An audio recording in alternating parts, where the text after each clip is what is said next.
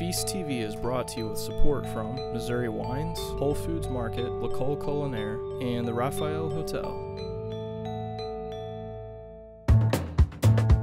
Hope you're ready for a drink because this is the craft distilling episode.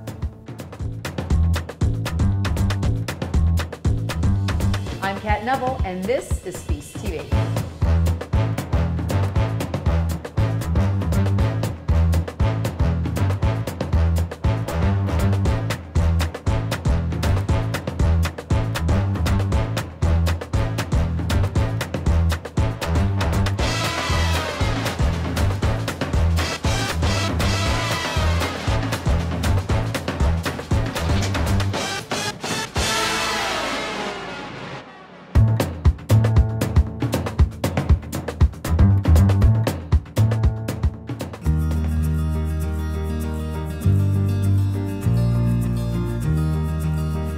In this episode, we are exploring craft distilling. Now, it used to be in stores like Randall's here in St. Louis, when you walked along these big shelves, you just see big national brands. But now, when you turn and look, there are tons of things that are made locally in small batches and very, very high quality.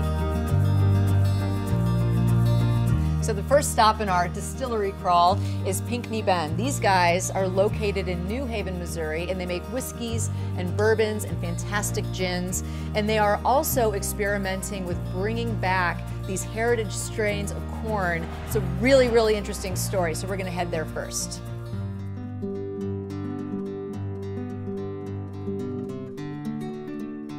So I am standing here in Pinckney Bend Distillery, which is in the town of New Haven, Missouri, right along the Missouri River. Pinckney Bend, first off, where does that name come from? Pinckney Bend was, uh, was a navigational hazard. There are about five, six, seven steamboats that have sunk and raised from, from around that area. And um, in the town of Pinckney, survived there for a long period of time, but, but ultimately it never thrived again. When you decided to open up a distillery, why did you choose New Haven? Well, we lived here. you know, we had looked at doing a brewery. We've been brewing together for 10 or 15 years, and the numbers didn't work. But as craft brewing began to come into its own, we said, you know, we can do this. And it had a still, and we began playing with it. What we produced was enough to encourage us, and we kept going. And, and today we, we have, a, have a, a thriving little business. Well, what I really love are the line of whiskeys where they're all barrel finished with these different types of alcohols like sherry and wine and things like that. When you're when you're a little guy, you know you don't have to worry so much about we don't we don't have to meet a huge market demand. We have to be able to, to sell it in our tasting room. It has mm-hmm. to be good. So what we started doing was taking whiskeys that were already finished and had spent a year in a new oak barrel. What it does is it um, it rounds everything It, it, out. it like files the edges off, you know. and it just infuses such beautiful flavor. exactly, and they're always subtle. They're not, you know, and, and the key to this, I think, is subtlety. Well, I think it's time to uh, taste a few of these wonderful things. So I'm going to turn you over to the experts. Come on down, Cat. Thank so I heard you had a chance to talk to Ralph about some of our products, and now let's get to the fun part. We're actually going to get to try some of the products. I've been waiting all through that interview just to get to the taste. I could see the suspense building. so I'm going to start you off with our sherry cask finish. Those staves are like a sponge, and it's amazing what flavors get pulled out when you introduce that whiskey to it. And what kind of sherry? Uh, this is using Spanish oak Oloroso sherry barrels, so it was an Oloroso sherry. Full disclosure, I have some of this at home and I love it. And just like you said, they're sweet, but not too sweet at all. It's just a beautiful, almost maple syrup kind of a flavor to it. Yeah, Brown that- sugar. And that's the oak from the whiskey beginning to come out, and the way it starts pairing with all those kind of almost stone fruit flavors that are going to show up from that sherry. That's exactly kind of the note it makes. I love this. And of course, we have to go with what we're famous for The gin, the gin, our American gin. American gin. What does that mean?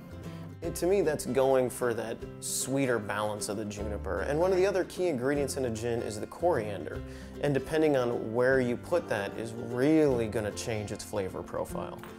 You know, a lot of gins will use stuff that didn't quite make the cut for doing a vodka, and I assume you just don't notice that you So went you ahead. cover it up with botanicals. Exactly. By not doing that, you're getting this really flavorful shine through of just our base to begin with. It's so Mm-hmm. perfumed. It is just a beautiful. Mm.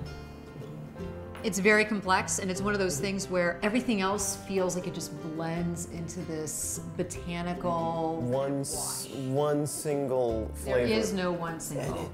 It- That's the way it should be. You want them all to come together to create kind of a harmony. And the goal in a gin is to create that same harmony. You guys started out with a gin, and your gin has won many, many awards many times over. We were all gin fans, and we started with a gin, and we, uh, right out of the gate, we got a, a gold medal at the San Francisco World Spirits Competition. Which is huge. It's, it's a very big deal, a very big deal. But you also won in London, didn't you? Yes, we got it, but you know, we got a bronze in London, and I don't normally Oh, brag. just a bronze. I don't normally brag about bronze, bronzes, but I'll take a bronze on gin in London. Yeah, I think so. This is one of my very favorite uh, gins, and how many gins are aged? There's only a handful. There are very out there. few across the world that are aged, and this is one. It's made right here in New Haven. Right in downtown New Haven. Love the aged gin. You have the aged gin. Yes, we were trying to simulate what old Tom gin would have tasted like, and we did. So did that begin your experimentation with barrel aging, or did you start barrel aging the whiskeys first? With the gin, we had whiskey barrels that were emptying out, and uh, and we were thinking, what are we going to do with these these barrels? And we said, let's let's finish some gin in them. There were a couple of gins out there that were being finished, and we did it, and man, this is really good. And we thought, let's roll it out and see. And it was very popular in the tasting room, and it began growing with the distributor. And we said, let's carry this to its logical extreme, like we do everything else. people like the folks here at Pinckney Bend, you guys are playing with things that, you know, these really big kind of profit-driven um, types of places are not necessarily going to play with. You guys are really able to push boundaries and introduce something to the market that's unique and special that nobody's ever had before. They, they've gotten too big to experiment, and we're just the right size to go out and kind of play. And that's part of the fun of being in the craft market is, well, I want to make what I want to drink. Yeah. I don't want to drink what someone else is making. And turns out a lot of people love what we make as well.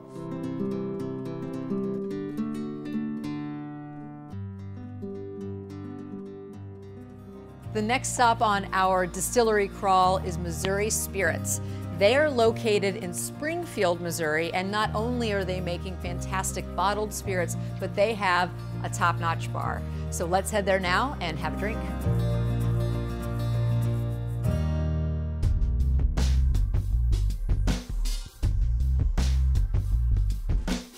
So now we are on the west side of beautiful downtown Springfield, Missouri at Missouri Spirits, which is just an incredible distillery here in the heart of the state. And I'm here with the founder, Scott, and I think we're about to go on a tour. And after that, we're gonna go check out what's being made behind the bar. So I think tour first, don't you think? Yeah, let's do it. Okay.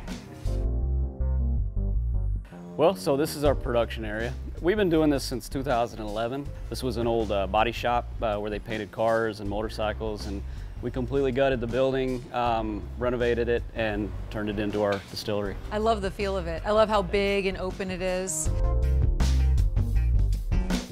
So, Missouri Spirits, the brand, Right. are the things that you're making smaller batch here Right. for your tasting room, for your clients. Right. But then, in order to make the business grow, you're doing private labeling and you're in 20 states? Roughly. So predominantly what we do is uh, we do co-packing and private label for other companies. Uh, that's the 90% of, of the business that we do. And so, what kinds of things are you making for these other companies? Uh, we do some flavored moonshines uh, is, is predominantly what we do. We also do some uh, smaller bourbon uh, batches for some local restaurants here and uh, looking to do more.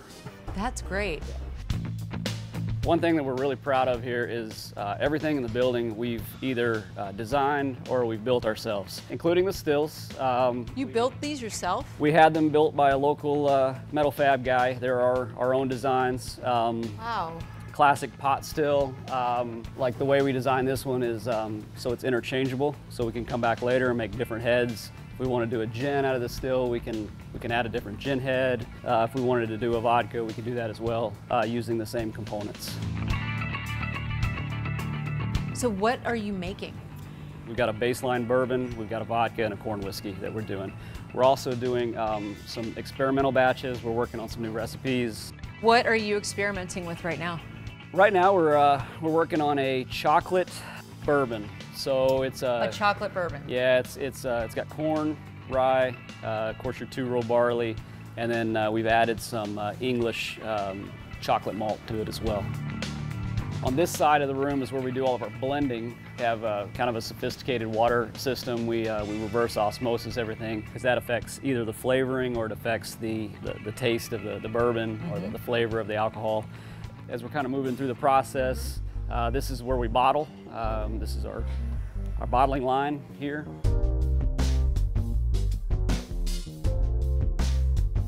We knew we had to have a tasting room, a tasting bar. We knew we wanted to sell bottles, and I'm kind of, I'm not really the guy that's going to just stop at giving people samples. I, you know, we wanted the best cocktails in town. Nice. And what we did was we we've got the best cocktails in town uh, in more of a laid-back environment.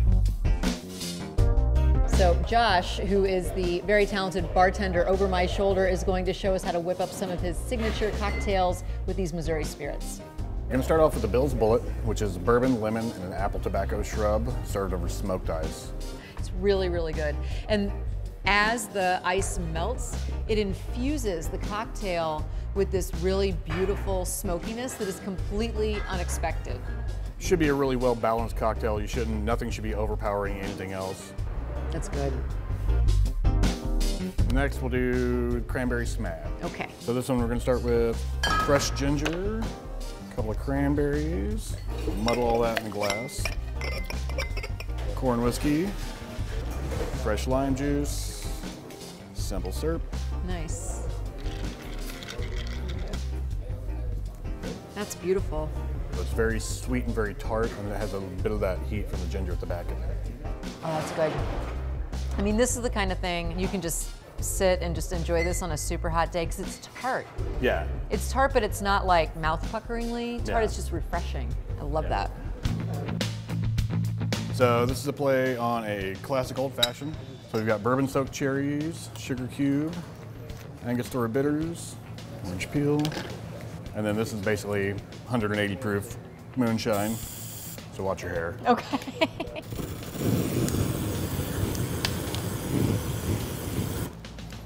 So and the idea of this is to caramelize the sugar, let it melt into the drink a little better.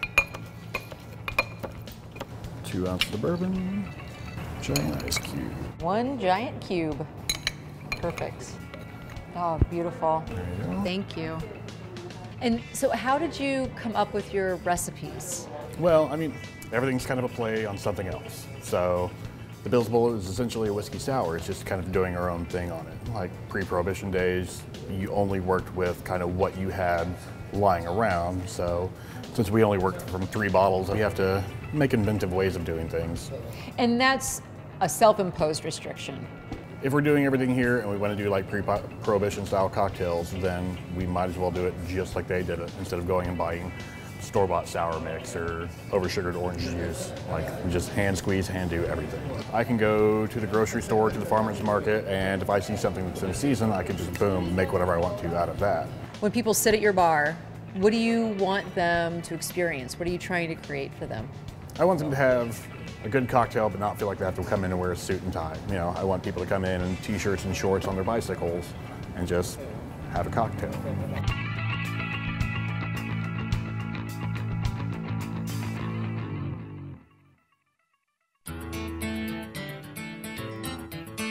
Next up is Still 630, an urban distillery just south of downtown St. Louis.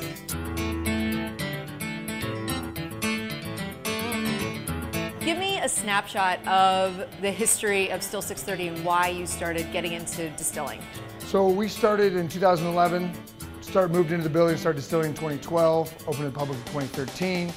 I wanted to get into it because I love spirits and I love all the different nuances that you can get from the different grains and ingredients. And the experimentation is the favorite part, and that's why I love this rack because these are all experiments. I love the fact that you are almost embodying that spirit of collaboration that's happening in artisan food right now. I mean, the fact that you're taking this really interesting almost experiment in beer and then you're experimenting with it further. So right now in the still you have a peanut butter chocolate milk stout? That's exactly right. That is our third brewery collaboration, this one with Four Hands with their Absence of Light we have in there. And so distilling kind of synthesizes those flavors as they come across, mutes some, exacerbates others. But then the barrel sometimes breathes life into them again or it just compounds those flavors it's really, it's, it's, a ton of fun. Like you said, I'm just playing around in here making booze.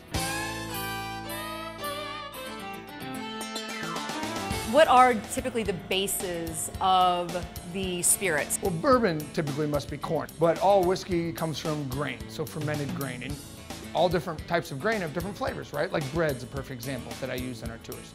Rye bread tastes different than wheat bread, tastes different than cornbread. And so if you use those different ingredients to make a different spirit, or you use them in different percentages, you're gonna get wildly different flavor combinations. Fruit is the basis of a lot of these spirits, including brandies, but also eau de vie. So let's head out to wine country and meet one of the very first distillers in Missouri.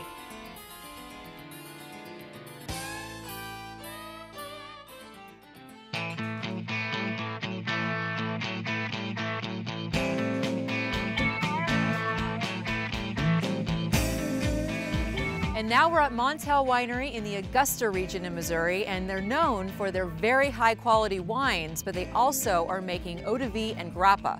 Let's go talk to Tony now. What do you think of the growth of the spirit industry? I mean, having been in winemaking and really been one of the pioneers in distilling in Missouri, how do you kind of like take this explosion in craft distilling? It's, it's amazing. I would have never thought it would have happened late 1900s, the state decided that they wanted to open up distilling to wineries. And I've always been enamored by the idea of fruit distillates, fruit spirits, eau de vies.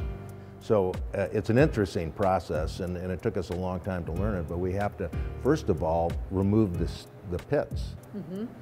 And then we have to uh, crush it and then pump it into the fermenter and then from there, it's a normal fermentation, just like it would be with any of our wines, except you got the skins and the pulp and everything in there. That's necessary to get those flavors. Huh. Then after that, uh, after the fermentation is complete, then you put it in the distill and heat it up and, and remove that alcohol. So you end up with kind of the essence of peach? Exactly. So show me around the still. Kind of tell me what it is that I'm looking at. So this is the, the manway here. That's where you actually fill the machine from. It's actually heated with steam. So this outer jacket here, the uh, stainless part, that's real hot. It heats the mash slowly. You can actually see it start to happen here. It actually, the steam comes up through these bubble plates and it sprays out like that and that helps with the, the refining of the spirits. So only the, the pure vapors come through. This process is amazing to me. Okay, so you essentially are boiling in a way. You're heating this to the point where it becomes steam. Right. The steam rises up through the column. Mm -hmm. And then it comes back down in the form of alcohol. And wait, here we go. Yeah, here. This is the. That was perfect timing. right. So the first little bit that comes out, I'll sample, and I'll keep smelling it and smelling it until it gets to the point where, you know, I know that it doesn't have any um, of the heads left in it. And now what exactly is in the heads that is undesirable? It's got benzene in it, um, which is poisonous. You know, that's what they would say would cause you to go blind and stuff like that from moonshine and yeah. all that. So it's, it's very important to get that out for safety and for the taste. So how long will the heads kind of run out typically? It's usually a couple liters. At some point, you know, the first part is the poisonous part, obviously, but then it becomes more of a quality thing. I will actually keep it separate so I can blend it almost back together. But it ages in a neutral environment like a stainless steel tank, except for the peach, is that right? Right, the peach is one of the ones that we put in oak barrels. When you make wine from grapes, you crush them, you destem them, then you press the juice out, So uh, normally we always just take that back to the vineyard and, and it would decompose and it would add nutrients to the, the soil. But the Europeans, what they would do is they would take the skins, add a little bit of water, and then re-ferment it, and they'd get a considerable amount of alcohol out of there. Then they'd distill it, and, and you'd get what was traditionally called grappa. I'm excited to try it. Let's give it a taste now. Is okay. okay? So uh, the way this is traditionally served is at room temperature, just like we're trying it right now. That is, it's hard to describe. It's almost like perfume. Mm -hmm. It's very floral and delicate. And all of those beautiful fruit flavors, they come right through the alcohol. Mm -hmm. I mean, you're picking it yourself. You're choosing, just like you do with your wine grapes, you're choosing exactly when you want to harvest so that you're, you can extract the most flavor out of it. This is best, uh, I guess, in the first five years in its youth, because that's what you're trying to capture, those flavors. Can we try the other ones? Yes. I'd love to try these.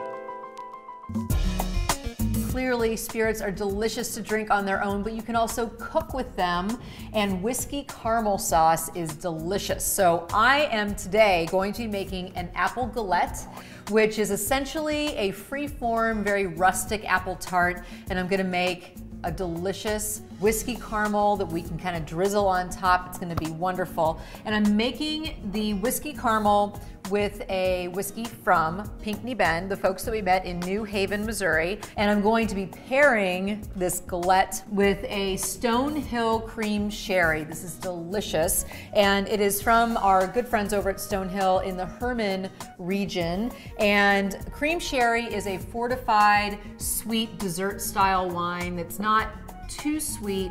It has a, a, really nice kind of bite to it. It's gonna go beautifully with the apples in that galette. So I'm gonna go ahead and get started.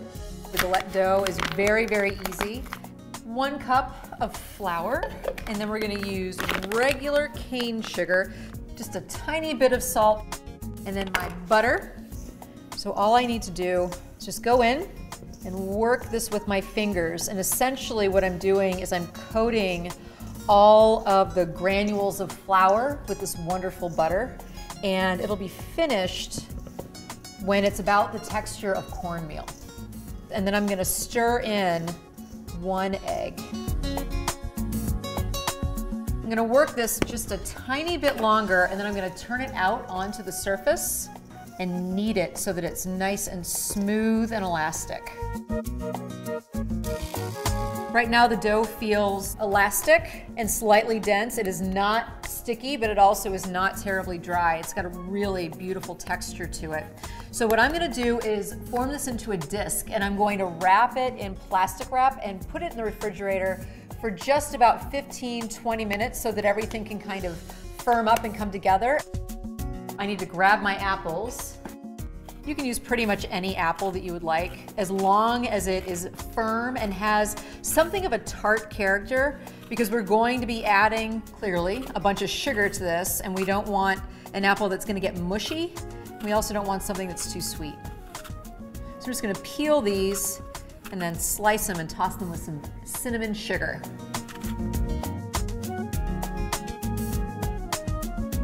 Now I'm gonna roll this into a 12 inch disc. Now, I'm gonna go ahead and transfer the dough. And it is a delicate dough, so be careful. Now what I'm gonna do is just arrange the apple slices in a beautiful pattern from the inside, the center out. And the key is to leave about an inch and a half or two inches around the perimeter because that's what we're going to fold up and over the filling. I'm gonna sprinkle just a teeny tiny bit of flour on the top of this so that as it's baking, it doesn't get too soupy. And then I'm gonna top it with a little bit more cinnamon and a little bit more sugar. Now, all you need to do is pleat the dough around the filling. And you're kind of forming like an envelope around all those beautiful cinnamon sugar apples, just like that. Surface has a nice egg wash on it. Now just a tiny little bit of sugar on the dough itself. I have my oven preheated at 375 degrees. I'm gonna pop this in. It'll take about 40 to 50 minutes. I'm gonna check it and rotate it once halfway through cooking. Oh, here it is. It's beautiful and it smells fantastic. Now I'm gonna go ahead and make that caramel sauce, which is also very, very easy. All we're gonna start off with is cane sugar, water, and a little tiny bit of cream of tartar. Here's my little pinch of cream of tartar.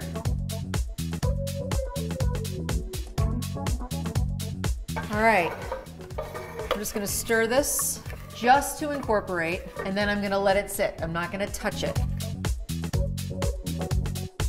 I'm gonna go ahead and heat up some cream, butter, and a little bit of salt because once this is exactly the right color, I'm gonna pour that in and stir it up.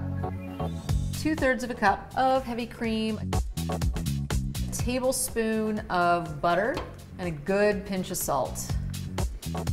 The caramel is starting to smell different. Instead of having a neutral aroma, it is starting to smell a little bit toasty and you can see just that light golden amber color, that, that chemical change is starting to happen. So we're at a beautiful, rich golden color. And again, it can very quickly go from perfect to burned. So keep your eyeballs on it. And now I'm gonna incorporate that hot cream. So I'm just gonna go ahead and stir. It smells so good. It smells like butter and sugar. Yum. Then I'm just gonna stir in my whiskey and I'm done. Only putting in about a tablespoon. You don't wanna overwhelm the flavor. I'm gonna plate this up. Just kind of spoon that on top at will. Add as much or as little as you like. I like much. I go for much.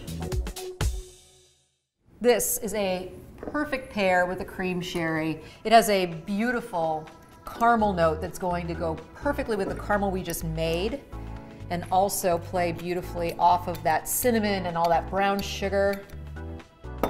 Lovely stuff. Oh, I just can't wait to dig in. Thank you so much for joining me, and I'll see you next time.